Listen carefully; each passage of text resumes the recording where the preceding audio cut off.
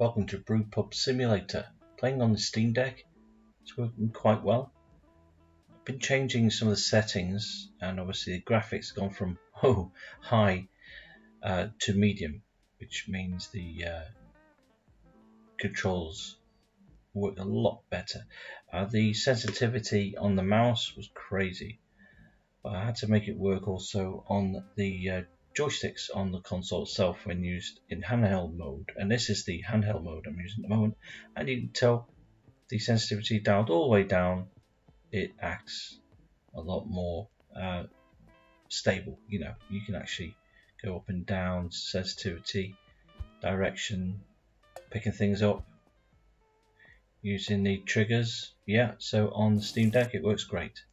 Now when you move on to using keyboard and mouse, uh, it works really, really well. I prefer it with wireless keyboard and mouse, to tell you the truth. But um, as you can see, just before I started playing, the sensitivity is way too high. And this was just using wireless keyboard and mouse, not the joystick and thumbsticks um, and the triggers on the actual console itself. So yeah, it does work really well on the console. I do believe uh, the problems I did have with it was the overheating aspect of the game. It does get warm, but not as warm as it usually did when I played the demo a good couple of months ago.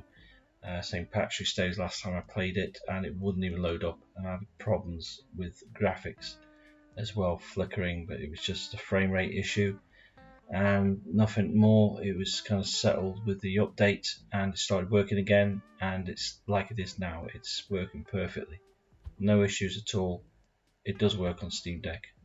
There you go. That's uh, big thumbs up for a game that is very addictive and fun to play. I did try mixing my first beer. It was terrible. It was so bad I named it Bud Light. Yeah, so yeah, definitely look out for that.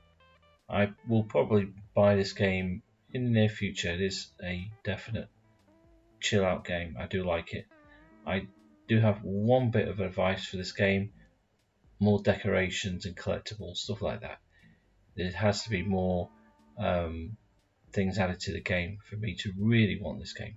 It does need a bit more, yeah, I didn't a bit more decoration and uh, like house flipper sort of content, you know, or the even better hotel renovator, which has tons of decorations and designs and floorings and wallpaper and furniture.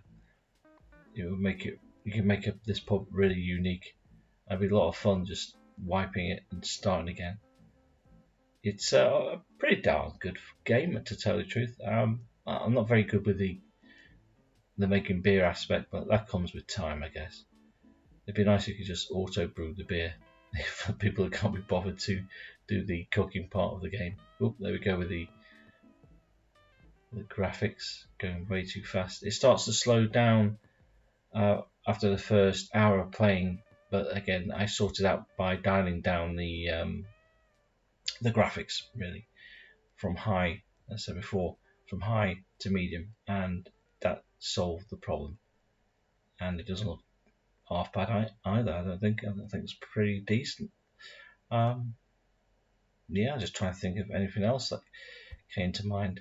Uh, the town looks a bit dead, doesn't it? But yeah, what town doesn't look dead these days? Not a lot of money going around. A lot of businesses are dying. It's a shame. Mine would, especially with the beer I made. Anyway, fun game, works on Steam Deck.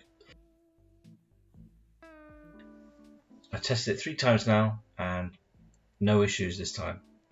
Very enjoyable. And congrats, you fixed the game, devs.